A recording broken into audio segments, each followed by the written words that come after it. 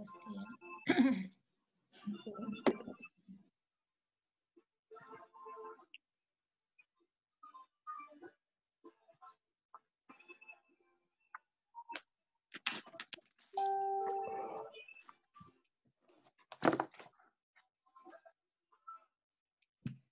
Alors, donc, est-ce qu'il y a d'autres qui sont en salle d'attente en j'arrive. Ok.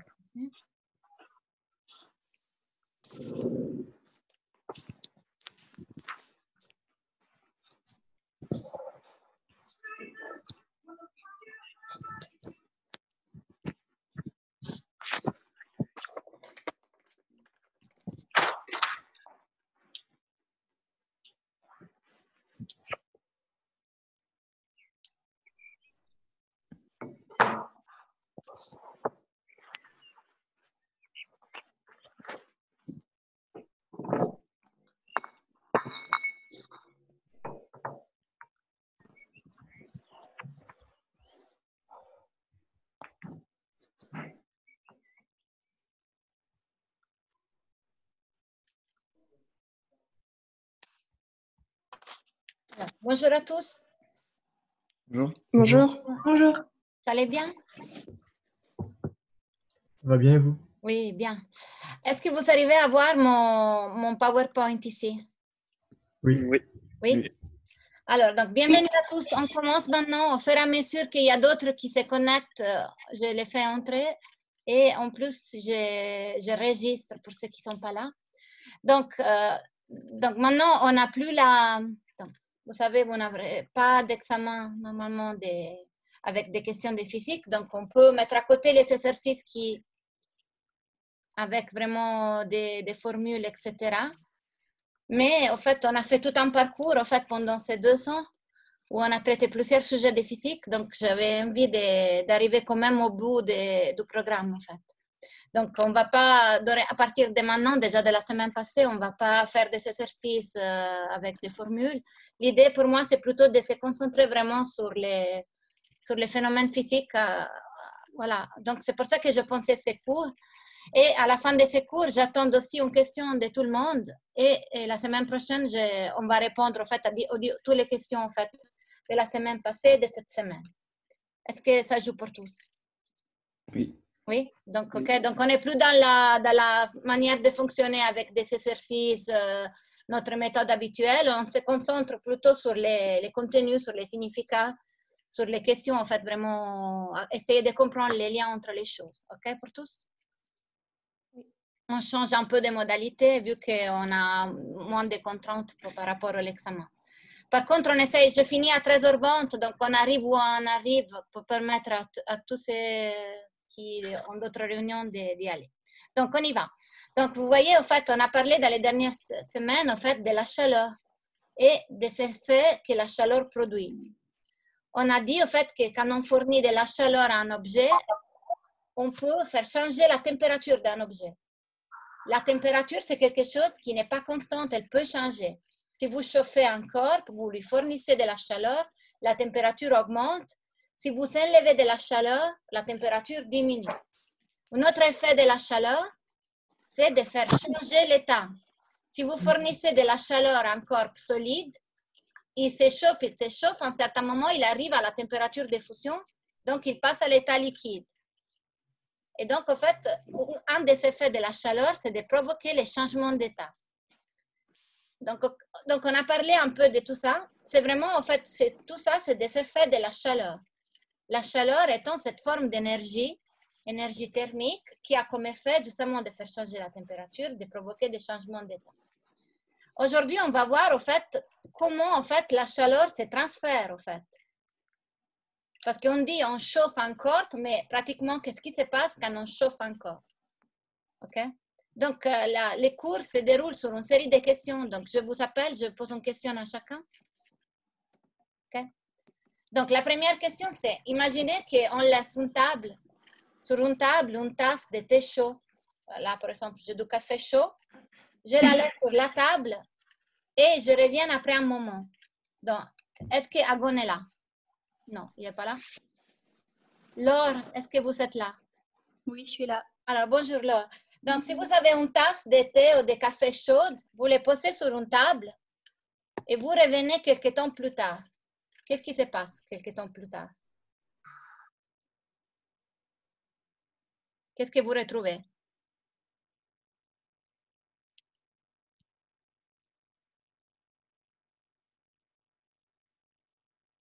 Idée?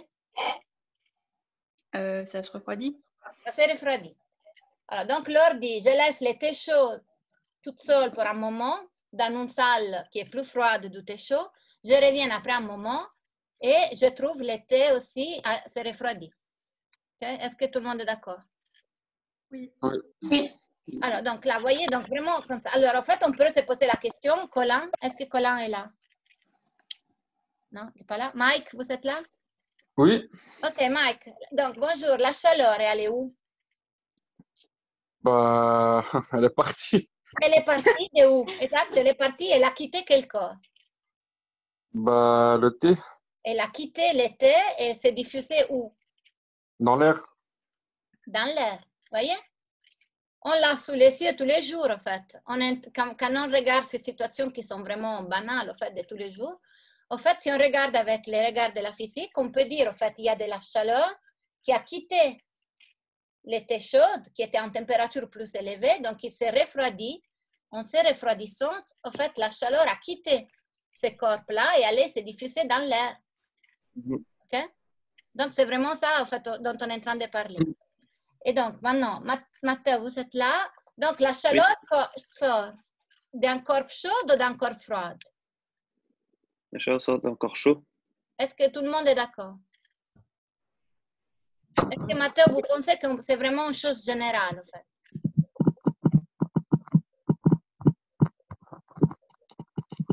Matteo, vous pensez que c'est une chose générale? Pardon? Est-ce qu'on peut vraiment dire que c'est une chose générale? Hmm, Pour moi, ouais. Pour vous, oui. OK? Donc, en fait, si on réfléchit, selon notre expérience, on a vraiment l'impression que c'est quelque chose qu'on peut généraliser. La chaleur quitte toujours le corps chaud et va vers un corps froid. Donc, Paul, vous êtes là? Maxime, vous êtes là? Maxime? Maxime, vous êtes là? Je vous ai vu entrer? Non? Donc, Anthony, vous êtes là? Euh, oui, oui, je suis là, j'avais juste un problème de micro. Ok, Maxime, bonjour. Alors, donc, Bonjour. donc euh, Maxime, donc, est-ce que si on, est-ce qu'on pourrait voir une fois une tasse chaude laissée quelque part, on revient après un moment, on la trouve froide, on la trouve plus chaude et l'air ambiant plus froide? Euh, ouais, au début. Si on vient de la poser, elle sera plus chaude que Oui. Est-ce qu'on peut, est-ce que ça pourrait arriver qu'on revient plus tard, on la trouve encore plus chaude? Euh, bah, ça dépend de, de, de comment, est, comment est la tasse. Mais elle n'est pas chauffée. Elle est vraiment une tasse normale. On ne la réchauffe pas. On la quitte simplement. On on sort un moment, on revient, on la trouve encore plus chaude et les milieux ambiants encore plus froides. Est-ce que c'est possible? Euh, non, je crois pas. Non, ça serait, ça serait vraiment bizarre de trouver ça. OK? Donc, en fait, spontanément, la chaleur quitte les corps chauds. Donc, vous voyez, on est en train fait de décrire quelque chose qui est très banal, mais en fait, on est en train de dire que la chaleur a une direction préférentielle. Est-ce que vous voyez ce que je veux dire?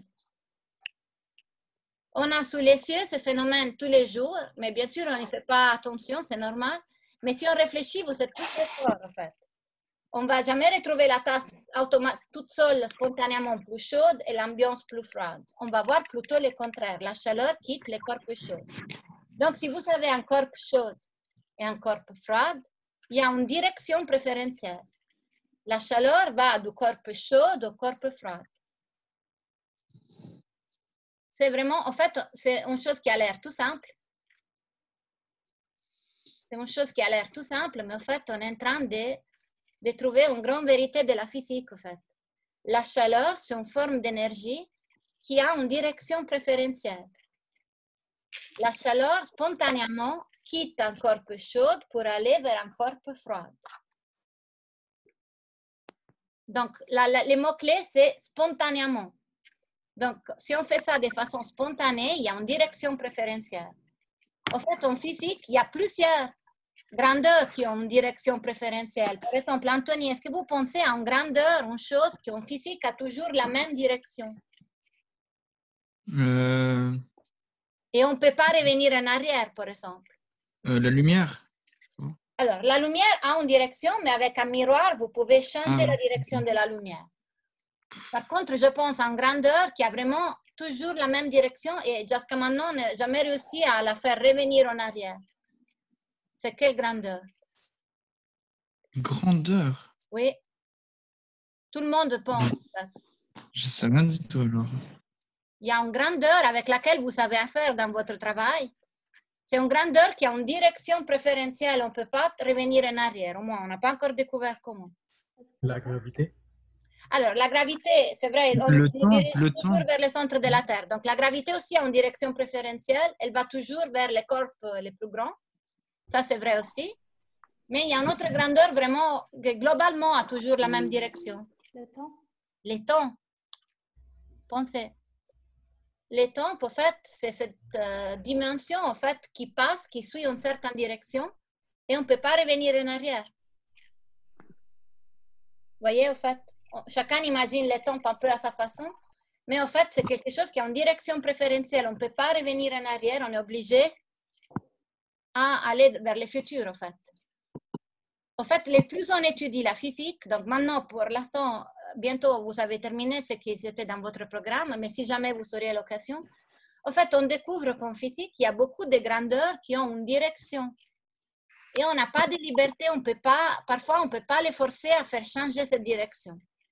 Dans la, dans la, dans la lumière, par exemple, dans l'exemple de la lumière, on peut changer la direction de la lumière, il suffit d'avoir un miroir, par exemple. Bonjour Agon. Donc, parfois on peut changer la direction de certaines grandeurs, parfois il y en a d'autres qu'on ne peut pas changer, comme par exemple les tons, qui a une direction préférentielle. Et pareil, la chaleur. Spontanément, la chaleur va toujours quitter les corps chauds pour aller vers les corps froids. C'est quelque chose qui c'est spontané en nature comme ça. Et c'est pas parce qu'on n'a pas trouvé la, la façon. En fait, c'est vraiment spontané, c'est comme ça. Donc, en fait, maintenant, avec ces cours, on commence à voir, en fait, jusqu'à maintenant, en fait, on a parlé, on a fait beaucoup d'exercices, euh, tout était possible. En fait, on découvre là que, en fait, spontanément, c'est pas tout possible. En fait, la chaleur va toujours quitter les corps chauds pour aller vers les corps froids. Est-ce que ça va pour tous? Oui. Donc là, en fait, on, est en train de voir une chose qui est très banale, mais en fait, nous parle de quelque chose. En fait, il y a une direction de la nature. En fait, il y a des directions spontanées préférentielles. Alors, si c'est OK, alors on avance. En fait, donc on a dit quelle est l'autre grandeur, c'est les tons. Donc, alors imaginez, Raphaël, vous êtes en été à la plage. OK? Vous êtes, votre corps absorbe ou cède de la chaleur. Imaginez vraiment une plage à l'italienne où il fait très chaud dehors, il fait 40 Absorbe. degrés dehors. Et vous êtes euh, à la plage, est-ce que votre corps absorbe ou cède de la chaleur? Il absorbe Il absorbe de la chaleur. Pourquoi? parce qu'il y a le soleil qui est en contact avec la peau. Oui. Donc l'air, au fait, chauffé par le soleil, a une température plus haute que le corps euh, de, l'homme. Et donc, au fait, la chaleur passe du corps plus chaud, donc l'air, à votre corps, qui dans ce cas est plus froid que le milieu ambiant. Est-ce que c'est clair pour tous? Donc là, on absorbe de la chaleur. Parce que le corps plus chaud, c'est l'air autour. Donc, Clara, maintenant, si par contre vous êtes, vous êtes en hiver sur la neige, donc votre corps est toujours à environ 37 degrés et la neige est à 0 degré, votre corps absorbe ou cède de la chaleur? Euh, il absorbe de la chaleur? Non, enfin, il cède la chaleur. Il cède la chaleur, exact. Parce que dans ces cas-là, votre corps est plus chaud et en température plus haute comparé au milieu. Et donc, la chaleur quitte toujours le corps qui est plus chaud. Donc, la chaleur va quitter votre corps. Mhm. OK? Donc, ça ne dépend pas vraiment du corps. C'est toujours le corps humain dans les deux cas, mais on peut savoir quelle est la direction de la chaleur selon la température d'un corps et l'autre.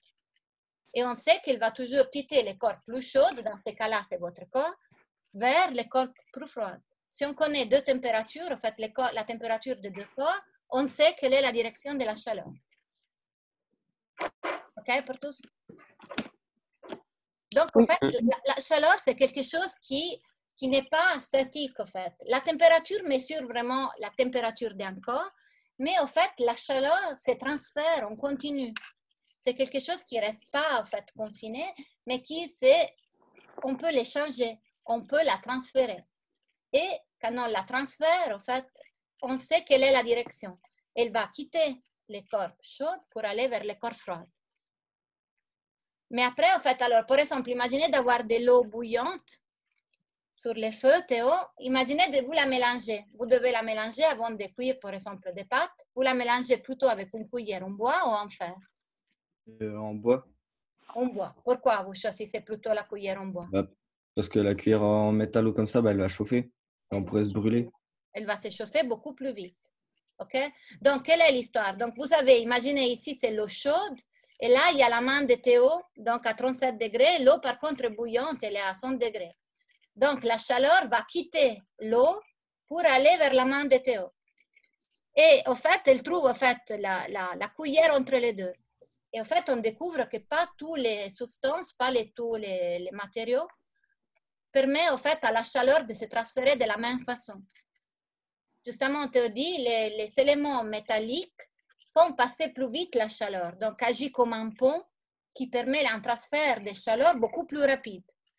Par contre, une substance comme les, bois permet un échange de chaleur qui est plus lente. Et donc, vous permet de faire chauffer votre main plus doucement et donc de ne pas vous brûler. Vous brûler. Est-ce que tout le monde voit? on parle toujours de transfert de chaleur. Il y a l'eau, en fait, et il y a le corps humain. La chaleur va quitter les corps plus chauds, dans ce cas-là, à l'aide d'un objet solide, comme une cuillère. Et là, on découvre, en fait, qu'on sait, en fait, instinctivement, on sait qu'on n'a pas tous les matériaux vous chauffent de la même façon la main. Pourquoi? Parce qu'en fait, il y a des matériaux différents. Alors, pourquoi? Euh, Mathilde, vous êtes là? Oui. Alors, bonjour. Pourquoi les chalets de la, en montagne ont les parois en bois? Euh, c'est pour euh, protéger du froid.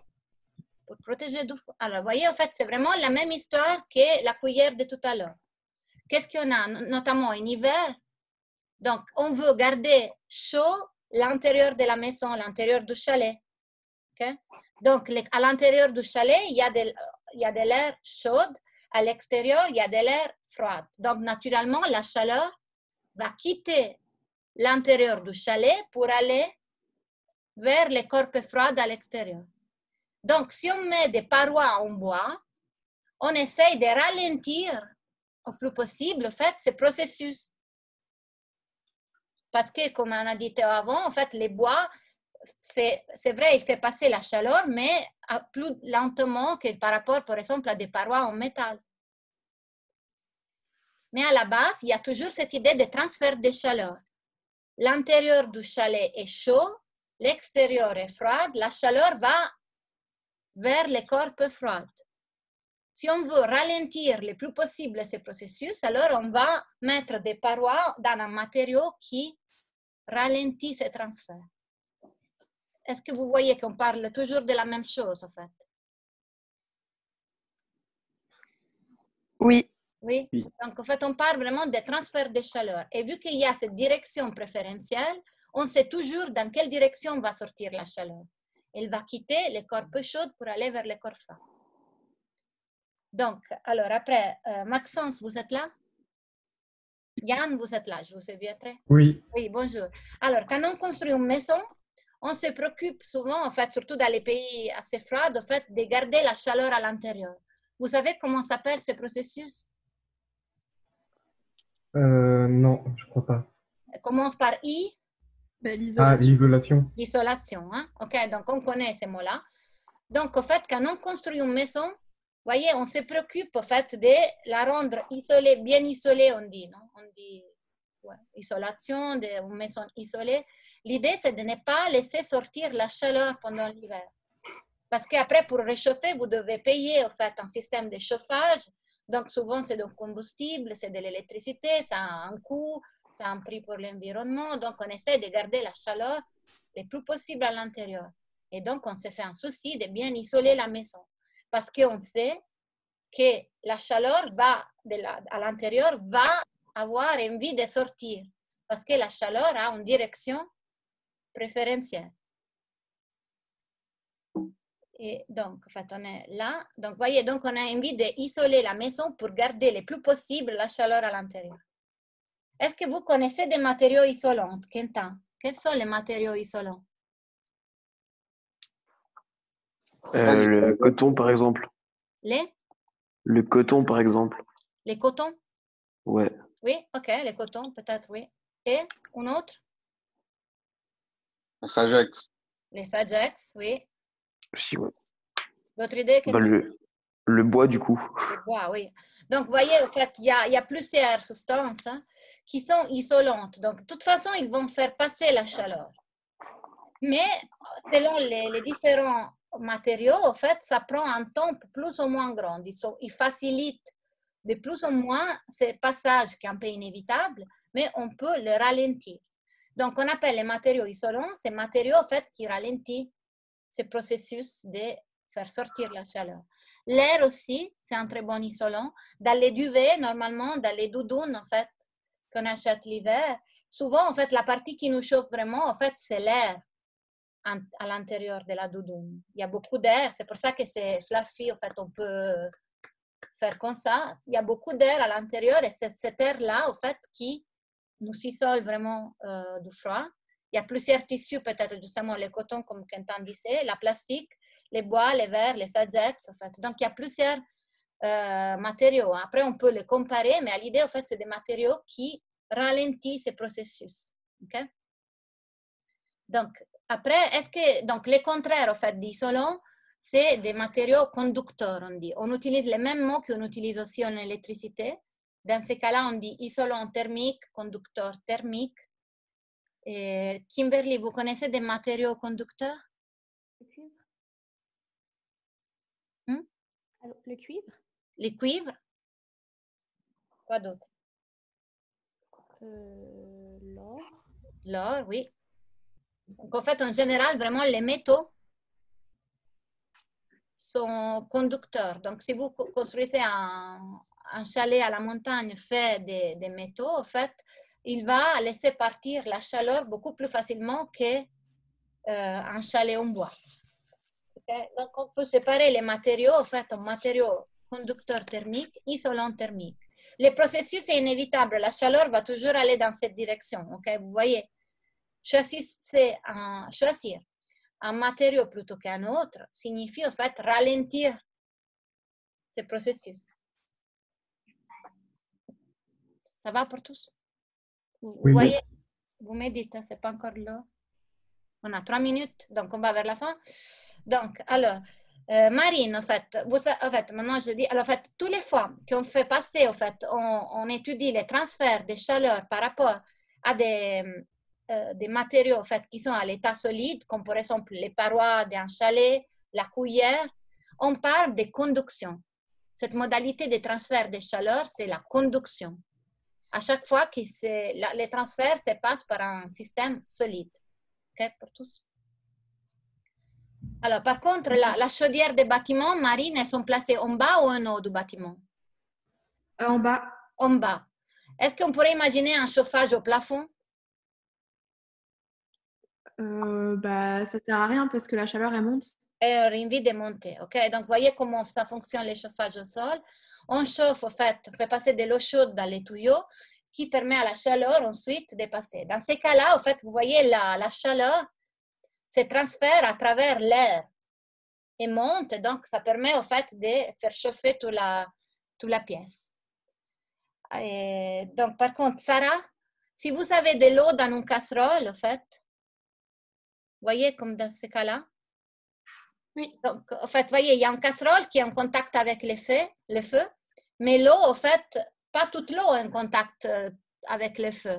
Comment fait la chaleur à se propager à l'intérieur de l'eau? Euh, c'est la matière qui fait ça, c'est une matière conductrice. C'est l'eau, en fait, qui est conductrice, en fait, et qui, en fait, l'eau qui en bas se réchauffe, elle monte comme l'air dans notre pièce, et en fait, elle commence à bouger, en fait. La matière qui s'échauffe, dans ces cas-là, vous voyez, c'est de la matière liquide dans un cas et gaz, en fait, l'air dans l'exemple précédent. Dans ces deux cas-là, en fait, quand la chaleur se propage à l'intérieur d'un milieu qui est liquide ou gazeux, on parle de convection, convection, convection, pardon. Donc, ça veut dire, au fait, que la matière, au fait, contrairement à la cuillère, la matière est en mouvement. Convection, ça signifie qu'il y a des mouvements. Donc, ça veut dire, au fait, la matière bouge et en bougeant, elle réchauffe, au fait, fait passer la chaleur. C'est la modalité de transfert de chaleur lors des, euh, si on a un milieu qui est liquide ou gazeux. Donc, on a la conduction, la convention. Et dernière question, donc pour Agon, vous êtes encore là? Agon? Sinon, on- alors, donc, qu'est-ce que vous savez du soleil, au fait, à tous, fait? Vous voyez, on sait que les chaleurs, le soleil, c'est une étoile, l'étoile la plus proche à nous. Donc, quelque chose qui est très chaude et très lumineuse. Qu'est-ce qu'il y a entre nous et les... Est-ce que, en fait, la, la- la chaleur du soleil, est-ce qu'elle nous arrive? Oui. Oui. Oui. Et pour- et pourtant, qu'est-ce qu'il y a entre nous et le soleil? Euh, beaucoup d'espace. Beaucoup d'espace. Donc, en fait, il y a nous, il y a l'atmosphère autour de la Terre, et après, en fait, il y a beaucoup d'espace vide. Donc, en fait, est-ce que c'est possible de faire arriver la chaleur aussi à travers les vides? Bah oui, visiblement. Oui. Oui. Vraiment, ouais. Donc, en fait, il y a une troisième euh, façon de recevoir de la chaleur qui s'appelle le rayonnement. C'est le transfert de chaleur quand il y a du vide, sans besoin qu'il y a de la matière. Et comme ça, en fait, on a vu, ben, on fait vraiment un raccourci, comme ça on finit, en fait. On a vu court- vraiment rapidement, mais les trois modes de transfert de chaleur. La chaleur, naturellement, va quitter toujours les corps peu chauds pour aller vers les corps froids. Si ce passage se passe par un milieu solide, on parle de conduction. Si cela se passe par un milieu qui est liquide ou gazeux, comme l'air dans une pièce ou l'eau dans une casserole, on parle de convection. Si se passe sans besoin de matière, comme par exemple la chaleur du soleil, on l'appelle le rayonnement. Et comme ça, on a vu ces trois modes de transfert de chaleur. OK? OK pour tous? Oui. Oui. Donc, je- j'attends une question, en fait, soit sur les modes de transfert de chaleur, soit en général sur tout notre cours. Si tout le monde m'envoie une question, c'est très bien, comme ça, la semaine prochaine, on essaye de, de répondre à tout ça, même à celle de la semaine d'avant. OK pour tous? Euh, les questions, on doit vous les envoyer où? Comme vous voulez, soit par message WhatsApp, soit par message euh, Teams, comme vous voulez. Ok. OK? Alors, je vous remercie beaucoup de votre attention. Donc, j'attends les questions. Bonne réunion aux autres. Bon courage à tous. Merci. Merci, au revoir. Merci, au revoir. au revoir. Au revoir.